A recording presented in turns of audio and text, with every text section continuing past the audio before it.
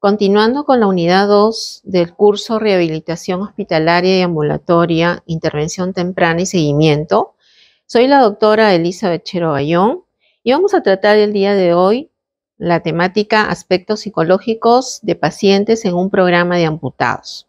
Para ello vamos a eh, revisar un tanto las etapas de vida que nos brinda el Ministerio de Salud para poder abordar a las personas. Recordemos que en este programa podemos tener personas de diferentes edades. No solamente las enfermedades abarcan a personas en etapa adulta o adulta mayor. A veces tenemos pacientes adolescentes, algunas veces tenemos pacientes adultos y en otras tenemos pacientes adultos mayores. Y cada una de esas características en las etapas de vida nos dan una pauta para la intervención. Entonces es muy importante que el profesional de la salud siempre trabaje con esa mirada, ¿no? Las características de un adolescente son muy importantes por la etapa que está viviendo. No está recién empezando a desarrollar una serie de habilidades, a formar su identidad y una enfermedad o un accidente podría ser una situación muy estresante para vivirla, ¿no? En el adulto y el adulto mayor ya tiene organizada su vida, por lo tanto tiene tareas comprometidas en, su desarrollo personal, profesional, y una enfermedad o un accidente también podría conllevar a una situación de estrés incrementado y por lo tanto problemas en la salud mental. Vamos a comentarles entonces que nosotros como psicólogos tenemos que tener una mirada de la salud y la enfermedad, ¿no? La psicología de la salud es una de las ramas de la psicología que más nos explica el tema de la salud y la enfermedad. Tenemos actividades de promoción y actividades de prevención. Cuando ya estamos hablando de una situación de enfermedad o de un accidente que pueda generar en la persona una situación de discapacidad, nosotros entramos en un plano de la prevención, ¿no? Una prevención que de alguna manera tenemos que evitar y tenemos que buscar que eliminar algunas dificultades que los pacientes puedan presentar en el camino de ese proceso de enfermedad o en el camino de ese proceso de la discapacidad. Cuando ya se da la enfermedad, a veces hay pacientes que vienen en condiciones agudas, otros vienen crónicos. Sin embargo, nosotros tenemos que buscar que restaurar algunas eh, situaciones de vida, ¿no? la vida del paciente según etapa de vida es, amplia, ¿no? No solamente se busca restaurar de alguna manera funciones que tengan que ver con la parte orgánica, sino también funciones que tengan que ver con la parte psicosocial. En el aspecto psicosocial, el paciente tiene familia, tiene pareja, tiene hijos, tiene responsabilidades y estas tienen que comenzarse a trabajar desde el área de la rehabilitación. Asimismo, vamos viendo que en la vida de un ser humano hay situaciones críticas. La exposición, por ejemplo, a una enfermedad crónica o a un accidente pueden ser percibidas pues como una pérdida del equilibrio, tanto biológico, psicológico, social. Recibir la información de un diagnóstico de una secuela genera un impacto en la vida de la persona, generando pues una crisis inesperada, ¿no? Llamamos crisis inesperada a una circunstancia de la vida que realmente, como su nombre lo dice, no lo esperábamos, ¿no? No pensábamos que nos iba a suceder y sin embargo esto está presentándose. Todo, todo cambio, toda crisis en la vida puede generar dos circunstancias. La crisis puede ayudar a que una persona pueda mirarla y afrontarla de una manera positiva, pero también la crisis puede conllevar a que de repente la persona tenga una recaída, una situación de, afectación en su salud, tanto orgánica como mental, ¿no? Entonces, por eso decimos de que hay un inminente cambio en el estilo de vida porque también forma parte esta enfermedad o este accidente, comienza a formar parte de su identidad. La pérdida de la salud pues pone en marcha una serie de emociones y sentimientos en el ser humano. Aquí vemos algunas respuestas emocionales y procesos psicológicos que encontramos cuando un paciente ya visita una, un área de rehabilitación. Vamos a ver aquí que se produce un fuerte impacto emocional durante todo el proceso, ¿no? Variando de acuerdo a las características individuales, a las condiciones sociales y culturales y al propio recurso de la red social que cuenta el paciente, ¿no? La red social viene a ser el apoyo de la familia, de los amigos en general. Estas reacciones emocionales también van a depender de esta elaboración psicológica que la persona haga de su propia mirada de lo que es esta enfermedad. enfermedad. Si es una enfermedad crónica y hay secuelas significativas, entonces la persona puede tener proceso de duelo que vamos a ir conociendo más adelante. Toda enfermedad genera estrés, todo dolor genera estrés y el estrés está muy vinculado en nuestra vida cotidiana, no solamente cuando enfermamos, sino en la vida cotidiana, en lo que hacemos, en la manera como miramos las cosas, ¿no? Sin embargo, cuando hay un proceso de enfermedad, pues se generan una serie de circunstancias, como por ejemplo el internamiento, el exponerse a las agujas, ¿no? Porque de repente tienen que sacarnos una serie de exámenes, ¿no? Pero lo más importante para el paciente a veces es enfrentarse al dolor, ¿no? El dolor puede ser físico, pero más intensidad tiene el dolor psicológico, ¿no? Porque la persona es como percibe y los umbrales de, dolor que pueda experimentar o haber tenido experiencia en su vida, ¿no? Una persona no ha estado muy expuesta a situaciones de dolor, cuando se enfrente ya en una etapa adulta va a tener baja tolerancia, bajo umbral a, la situación de poderlo tolerar. Sin embargo, cuando una persona ya tenido experiencia con el dolor en el desarrollo de su vida, esto puede significar que su afronte sea mejor. Asimismo, también tenemos pues el enfrentamiento a una cantidad de análisis, ¿no? Que se puedan desarrollar en el momento del proceso de diagnóstico. Todo este estrés incrementado puede generar pues síntomas físicos y también síntomas psicológicos, que lo más común que encontremos en nuestra población son manifestaciones en el ámbito de la salud mental, ¿no? Y en este ámbito de la salud mental siempre nos preguntamos, ¿no? ¿Qué cosa genera el malestar psicológico? Y el malestar psicológico tiene dos fuentes muy importantes. Una de las fuentes es el paciente mismo con sus propias características de personalidad y la familia, que conlleva pues un soporte, como les dije, pero a veces este soporte puede ser funcional, o sea, hablamos de una comunicación buena, pero también puede ser un soporte de tipo disfuncional, ¿no? donde ya previamente a la enfermedad del paciente o a su discapacidad podrían haber tenido situaciones de conflicto, situaciones de tensiones al interior de la familia y que el paciente no cuente con ese apoyo. Todo ello va a conllevar a manifestaciones depresivas o de angustias derivadas pues de un carácter crónico por la misma situación de enfermedad. Entonces, para entender el malestar psicológico, vamos a poderlo, eh, digamos, eh, enlazar con algunos factores, ¿no? algunos factores desencadenantes pues, de este impacto emocional en el paciente. ¿no? Acá tenemos un autor que nos refrenda ello y nos habla pues de que hay algunos aspectos que se relacionan con una anticipación de consecuencias para la familia, ¿no? Como les había comentado anteriormente, esto tiene que ver con lo previo que ha sucedido en la vida con la familia. El paciente ha tenido una buena relación con la familia, ha sido una persona de repente mirada dentro de su familia con muchas dificultades, les ha traído muchos problemas a la familia, por lo tanto la familia ya no tiene mucho deseo de apoyar. La pérdida de control de la situación, porque de repente no tienen los suficientes recursos, porque es algo que no se lo esperaban. Pérdida de capacidades físicas, psicológicas, el deterioro que pueda generar eso en la movilidad del paciente y también en situaciones relacionadas a su estado de imagen corporal, ¿no? Sabemos que muchos de los pacientes que visitan nuestros servicios están con una situación ya de amputación de uno de sus miembros. Entonces, lo primero que se produce en ellos es pues el tema de la imagen corporal, ¿no? La imagen corporal es algo que nos acompaña durante toda la vida y esta imagen corporal en una edad adulta ya tiene un significado y una representatividad. Si nosotros hacemos un ejercicio de cerrar nuestros ojos, así nos hayan amputado una parte del cuerpo, sea brazo, pierna, pie o dedo, la imagen corporal siempre va a seguir mirándose en una forma completa. ¿Por qué? Porque la hemos llevado durante toda la vida.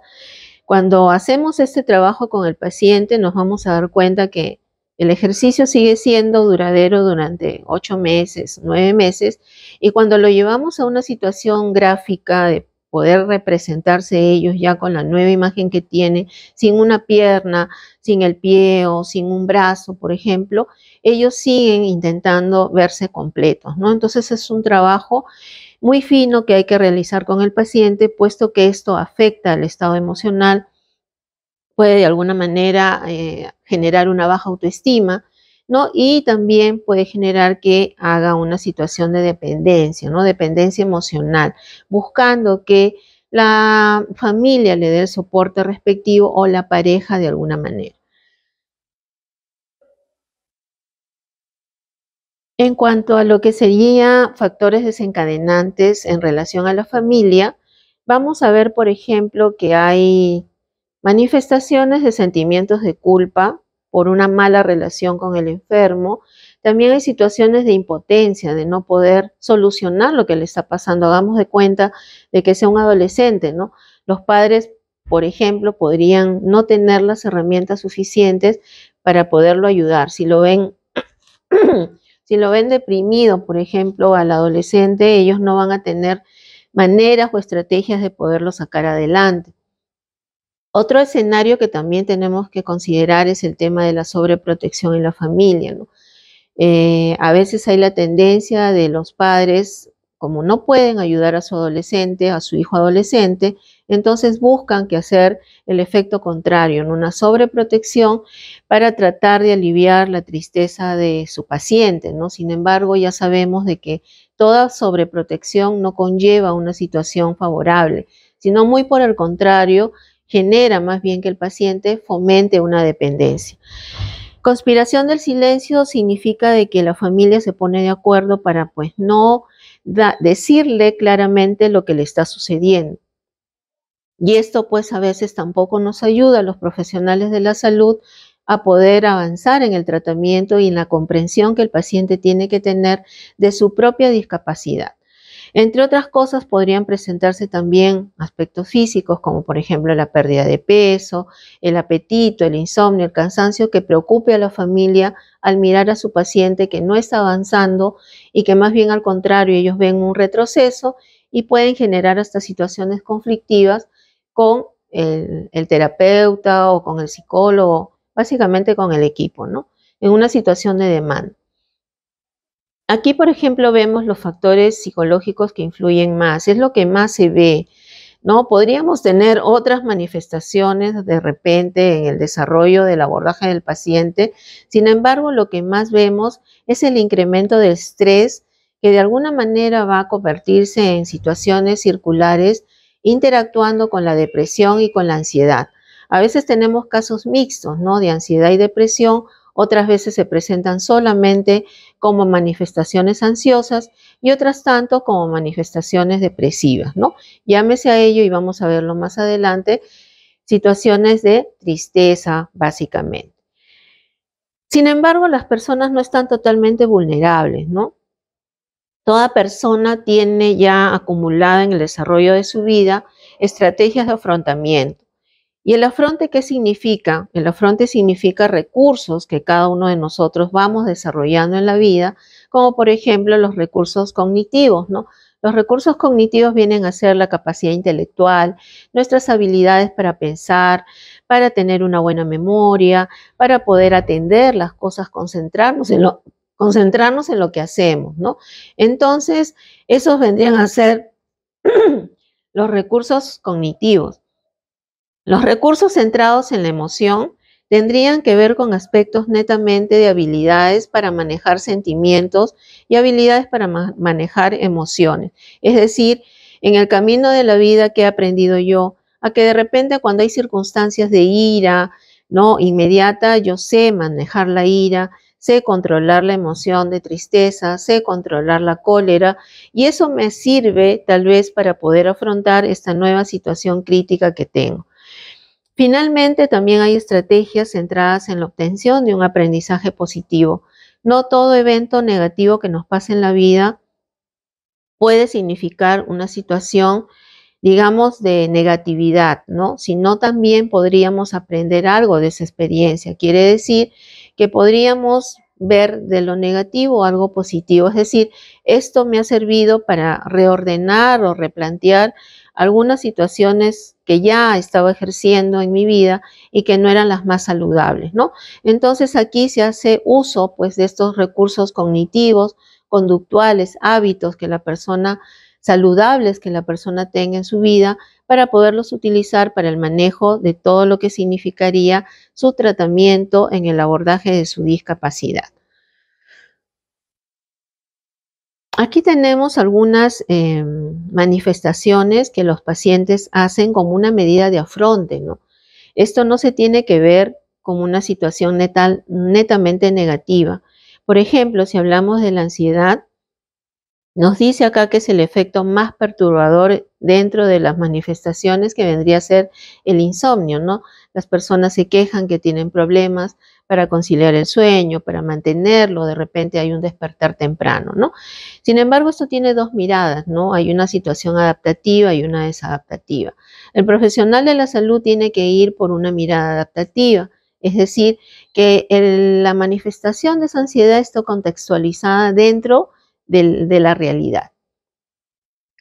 Mientras haya una situación que de verdad amenace la vida del paciente, obviamente la ansiedad está bien manifestada, pero si vemos de que la ansiedad se presenta incrementada y la problemática de salud no es la medida real, o sea, ya se ha solucionado, ya no está en una fase aguda, entonces esta ansiedad la consideramos como desadaptativa, ¿no? Está desproporcionada, no está contextualizada en el tiempo real en el que el paciente está de alguna manera manifestándolo, ¿no? Entonces ahí hablamos de que este paciente está presentando amenazas irreales, ¿no? Aspectos que de repente no se ajustan a una realidad y ahí requiere de una intervención. Otra manifestación también es la tristeza, ¿no? Que está asociada al concepto de pérdida en la salud, ¿no? Y esto también tiene mucho que ver con la frustración que puede sentir al enfrentarse a las situaciones de discapacidad, ¿no? También tiene una función adaptativa, pero también hay una mirada desadaptativa, ¿no? Dentro de la adaptativa es que de alguna manera esto puede ser breve, de repente esta tristeza puede presentarse como una sintomatología única, protectora, ¿no? Que le sirva para evaluar su situación, pero que luego de alguna manera pase a una situación de aceptación de la realidad que está viviendo. Sin embargo, cuando es desadaptativa es que esta tristeza es profunda y se mantiene en el tiempo y tiene una gran intensidad puede generar una serie de problemas a nivel físico, porque la persona al no dormir, al no comer, al no tener ganas de poder realizar actividades, puede comenzar a deteriorar aún más su situación de salud. Vamos a ir viendo también que hay otras manifestaciones, como por ejemplo el miedo, ¿no? Es una de las emociones más temidas, pero también necesarias para la supervivencia, ¿no? Se le tiene miedo, por ejemplo, en esta situación de enfermedad al dolor físico, a la pérdida de la autonomía. Algunas personas dicen a volverme loco porque esto ya no sé cuál, qué ruta va a tener o qué, qué es lo que va a pasar conmigo, ¿no? Al tema de la desfiguración y al tema de la imagen corporal, cómo voy a quedar, ¿no? Otras relacionadas a cómo, a que voy a hacer una carga, a la separación de los seres queridos, al rechazo, al abandono, al aislamiento, a no poder comunicarme, a perder de repente a la pareja que tengo el día de hoy, o de repente que mis padres ya no me quieran, ¿no? Que así como estoy o como quede, ya no me quedan, ¿no? En una situación, por ejemplo, eh, podría aparecer también un miedo existencial, ¿no? A lo desconocido, o sea, hay algo que no se sabe que va a pasar, ¿no? A la soledad, ¿no? Algo que nadie quiere, ningún ser humano quiere estar solo, ¿no? A perder el control de la situación porque realmente no sé cuál es, cuál es el futuro inmediato que me va a suceder, ¿no? La culpa es una manifestación que ya surge cuando ya es abordado el paciente y esta culpa tiene varias miradas también, ¿no? la adaptativa y la desadaptativa, ¿no? Pero en la adaptativa nos permite que el paciente identifique cuál es su situación actual y que asuma responsabilidad en vez de que se culpe, que asuma responsabilidad de repente de no haber cuidado a tiempo los indicadores de salud, ¿no? Y por eso es que se ha deteriorado y ha tenido que perder un miembro. Una de las cosas que podrían suceder. Entonces, esto vendría a ser una situación de evaluación del paciente y la culpa estaría, digamos, entendida como adaptativa. Sin embargo, se considera desadaptativa cuando esto se instala solamente para convertirse en una situación de autoexigencia para con la familia, para con los terapeutas, o de repente ah, dirigida hacia su propia persona como una situación de autodesprecio y autoagresión. ¿no? También tenemos la hostilidad muy común en los pacientes. Esto sí se presenta bastante, ¿no? Miren ustedes que tiene una fase de disparo, una fase de enletecimiento y una fase de normalización, ¿no? Es adaptativa porque es una expresión breve del enojo, pero no es dramática, ¿no? Es algo que se puede dar en un momento determinado y vemos cómo el paciente responde, vemos que cualquier situación que no, no, se tenía que dar en el momento de la terapia puede incomodarle, ¿no? Entonces podemos identificar que hay cierto nivel de hostilidad, pero que de repente no se convierte en una situación continua, sino más bien es en una situación eventual.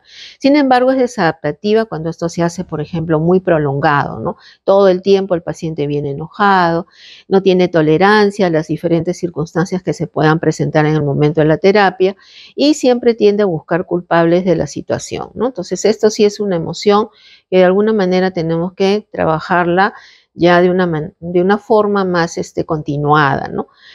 La negación es una fase del proceso de duelo que es protectora para el paciente, pero que de alguna manera reduce el sufrimiento, ¿no? O sea, le evita enfrentarse a la realidad. Si el médico le dijo que le van a amputar una pierna, pelea con eso, pide una segunda opinión. Toda esa fase es protectora. Pero, por ejemplo, cuando ya las evidencias dicen de que ya no hay mucho por hacer, y que es inminente el hecho de que tienen que amputarle la pierna, pues la persona va a tener que pasar a otra fase del proceso de duelo, ¿no? Esto es algo que todos los profesionales tenemos que conocer, ¿no? Pero ya se convierte en una situación desadaptativa cuando esto pues puede generar otra toma de decisiones, como por ejemplo el hecho de no quererse atender. Sabemos que hay riesgo para la vida del paciente si no toma la decisión de firmar para que le amputen la pierna, puede correr peligro su vida. Sin embargo, el paciente argulla una serie de situaciones para no hacerlo, ¿no? Entonces, esta parte sí afecta negativamente a otros, dejando situaciones pendientes en su salud. El retraimiento no es algo que lo podamos ver, podría generarse o no de repente en una situación de abordaje, pero tomar en cuenta que una persona puede ser retraída, pero no necesariamente podría afectar la situación de su salud o de la terapia, ¿no? Sin embargo, es desadaptativa cuando hay estados confusionales o hay otros problemas orgánicos que se puedan presentar y se pueda decir, el paciente no era así previamente, ¿no? El paciente era de otra manera, muy social, muy comunicativo y ahora ha quedado retraído, ¿no? Entonces, ese cambio sí se podría tomar en un abordaje, ¿no? Bueno, acá están las fases del duelo. El duelo viene a ser una reacción de adaptación, de pérdida de salud y discapacidad, ¿no? Hay manifestaciones de tipo físicas, ¿no? Como pérdidas de apetito, alteraciones de sueño, conductuales, por ejemplo, como agitación, llanto, aislamiento, las cognitivas, ¿no? Pensamientos de culpa, sensación de irrealidad, problemas de memoria, concentración.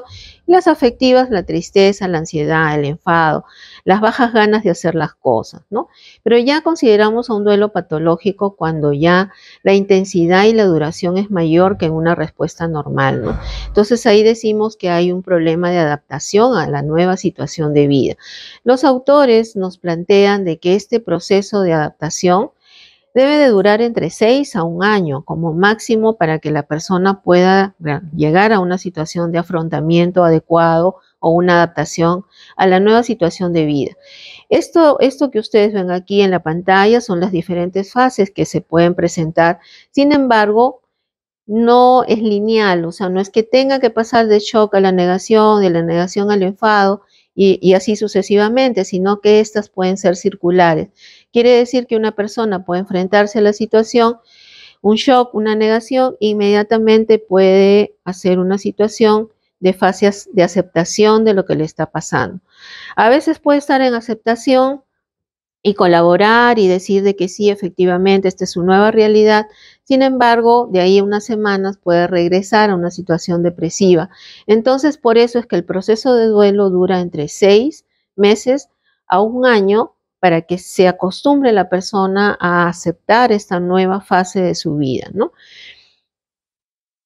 Bueno, acá tenemos otros modelos de duelo que también se pueden incluir dentro del abordaje del paciente. El más conocido es el de Club Ross, el que les acabo de hablar, pero también hay otros modelos que hablan de otras fases, pero que de alguna manera cualquiera de las fases que manejemos en nuestra entrevista con el paciente para poderlo abordar, este puede ser útil, ¿no? Ustedes tienen ahí la lectura para poderlo revisar y lo más importante son los tiempos, ¿no? Los tiempos establecidos es entre seis meses y un año luego del evento traumático, luego del accidente o la enfermedad que la persona pueda haber iniciado. En relación a la familia, comentarles de que la familia cumple roles, ¿no? Y estos roles el paciente tiene un rol dentro de este esquema familiar, ¿no? Ahí se van generando una serie de necesidades, lo que habíamos visto la conspiración del silencio, los duelos, ¿no? Y el tema también de la claudicación familiar, ¿no? Vamos a dar una mirada a estos aspectos que rodean a la familia. Y acá tenemos, por ejemplo, cómo hay necesidades de toda índole, ¿no? Espirituales, emocionales, económicas, ¿no? De apoyo. En las causas, en los factores etiológicos, tenemos en el rol del paciente cómo funcionaba este, este rol del paciente dentro de la familia, ¿no? Con el objetivo de potenciar pues recursos, fomentar expresión emocional, facilitar una buena comunicación, la prevención de un duelo complicado, ¿no? y que tengamos en cuenta el sistema de apoyo que vamos a tener con la familia, no sea que se llame uno o dos miembros de la familia. ¿no? La intervención tendría que estar orientada al cuidado de la información que nosotros le demos y al cuidado emocional, que no se generen lo que entre comillas se llama a veces teléfonos malogrados, ¿no? que a veces es triangular entre el paciente, la familia y el terapeuta o el psicólogo o el médico, ¿no? Y esto a veces genera un retraso en el avance con el paciente, ¿no? En esta conspiración del silencio hay un acuerdo implícito o explícito de alterar la información al paciente por parte de los familiares, allegados o profesionales, como ya lo habíamos dicho, ¿no? Lo protegen del diagnóstico, lo protegen de la gravedad de la situación. Puede ser adaptativa al inicio, ¿no? Solamente al inicio del abordaje, pero luego esto, si es desadaptativo, es cuando ya se mantiene en el transcurso del tiempo y la familia se niega a darle la información respectiva, ¿no? Aquí vemos pues que hay barreras comunicacionales, se puede dar la soledad, el aislamiento, la incomprensión. Asimismo también tenemos el tema de la claudicación familiar, ¿no? la incapacidad de la familia para dar respuesta adecuada a las múltiples demandas del paciente. Como una causa tenemos familias desestructuradas, red social escasa, o sea, solamente el paciente tiene a un miembro de la familia o vive con la mamá o vive con un hermano pero no tiene un soporte familiar adecuado, ¿no? O tal vez porque dentro de la misma familia hay una negación de la situación, ¿no? En el objetivo acá de la intervención es reforzar recursos, ayudar a hacerse cargo de la expresión emocional, cuidar la relación y la comunicación entre la familia y el paciente para prevenir un duelo complicado. ¿no? La intervención está orientada al paciente, que es el puente de comunicación, que se garantice la continuidad y mostrar escucha activa al respecto, ¿no? Y en relación a la familia, dar el apoyo emocional y la empatía, ¿no? En relación al duelo, eh, tenemos pues de que en la familia se vive como una pena, ¿no? Por esta situación de, pérdida que pueda tener de un miembro, eh, de una parte de su cuerpo, de su familiar, ¿no? Ya habíamos hablado de ello. Entonces aquí tenemos que promover el duelo normal, ¿no? O sea, que la familia entienda lo que es un duelo normal y decirle que con toda esta intervención que se está haciendo, la persona va a terminar o su familiar va a terminar aceptando la situación, restableciendo su equilibrio emocional y reinsertándose a la sociedad, que es lo que se busca, ¿no? Que la persona una vez que pase por el proceso de terapia pueda reinsertarse a la sociedad haciendo las labores, haciendo el vínculo nuevamente de pareja, vínculo con los hijos, si es que eso había quedado pendiente, ¿no? Bien, En la intervención del especialista debe ir dirigida a disminuir ansiedades, a reforzar habilidades ya adquiridas con anterioridad que favorezcan estilos de afrontamiento eficaces, intervenciones de esclarecimiento y de apoyo. Los psicólogos aquí dentro del área de rehabilitación tenemos esa función muy importante, ¿no? De hacer las psicoterapias de apoyo, de hacer la psicoeducación, que viene a ser la intervención de la información adecuada al paciente, ¿no? Tenemos también estrategias de intervención, como por ejemplo la psicoterapia individual, a través de técnicas cognitivas conductuales, que lo que orientan al paciente es a buscar el uso de la parte cognitiva que tenga el paciente para que entienda bien su problemática y pueda ir educando sus propias emociones, reacciones y su propia mirada de lo que le espera en el futuro para su propio desarrollo personal, profesional en general, ¿no? En la parte social es muy importante el trabajo con la familia y a veces se hace de una manera consejería grupal o a veces se interviene desde el abordaje de la terapia sistémica, que puede ser una psicoterapia breve con un miembro de la familia o tal vez se puede hacer a través del grupo familiar. Cualquiera de las dos intervenciones requiere pues de que el profesional de la salud, en este caso el psicólogo, tenga pues toda la mirada, todo el abordaje en general, desde que el paciente ingresa pues a una situación hospitalaria hasta que el paciente esté ya en el ámbito de la de un servicio de rehabilitación. Todo ese abordaje implica de que nosotros estemos atentos a dar una intervención de acuerdo al momento en el cual el paciente se encuentra. Bien, esta, esta charla orientadora en el tema de aspectos psicológicos han buscado como objetivo de alguna manera que cualquier profesional de la salud en los diferentes niveles de intervención, sea intervención desde el nivel primario hasta la intervención en el cuarto nivel, podamos tener una comprensión de lo que le pasa a una persona cuando enferma o cuando tiene una discapacidad física y que tiene que ir a un programa de amputados. Muchas gracias por su escucha, su aprendizaje y nos vemos en otra oportunidad. Gracias, muy amables.